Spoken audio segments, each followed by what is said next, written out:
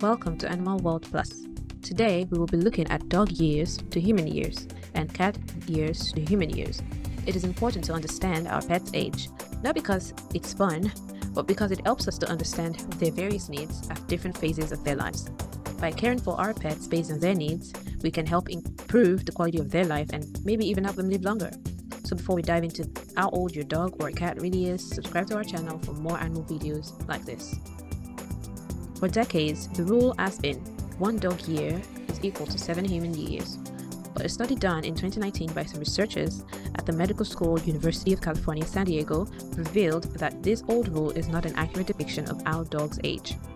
First, it is important to understand that dogs age differently depending on the breed, size, and genetic makeup.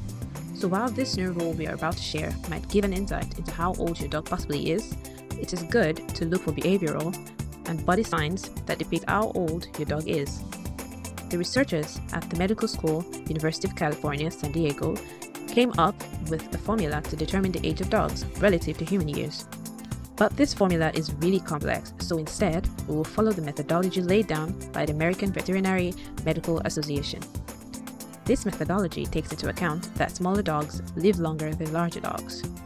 This chart from the American Kennel Club shows the age of dogs in human years based on the various sizes of dogs. Generally, the first year of a dog's life equals 15 human years, except for a giant dog. The second dog year equals 9 additional human years. After that, each dog year will approximately equal to 5 human years, with smaller dogs aging much slower than large ones. Although this chart gives an insight into the possible age of your dog, it is important to watch out for both physical and behavioral signs that indicate how old your dog possibly is. To determine what stage of your life of life your dog is, keep a lookout for the following. At 8 weeks old, all dog baby teeth should be pulled out, and by 7 months, all their permanent teeth will be out. Between 1 and 2 years, their teeth will begin to yellow and as it ages, the dental condition of dogs continue to worsen.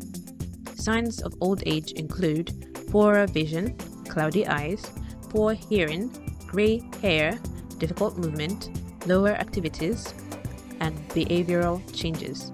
It is important to take your dogs for regular checkups, especially senior dogs who might be more prone to age related diseases.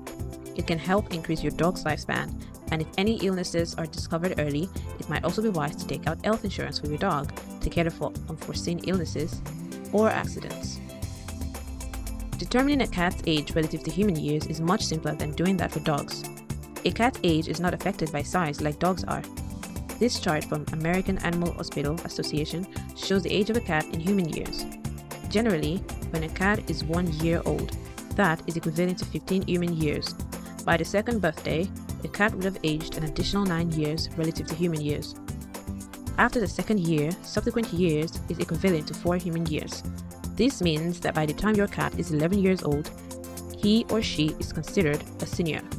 Just like dogs, physical and behavioral changes can show how old your cat is. Signs of aging in cats include cloudy or teary eyes, loss of vision, graying fur, weight loss, reduced mobility, disorientation, dental disease, and other diseases that can surface as they age. Just like in dogs, it is important to carry out regular medical checkups to ascertain the state of health of your cat. It will be wise to take out health insurance for your cat as well. You never know when it will be needed.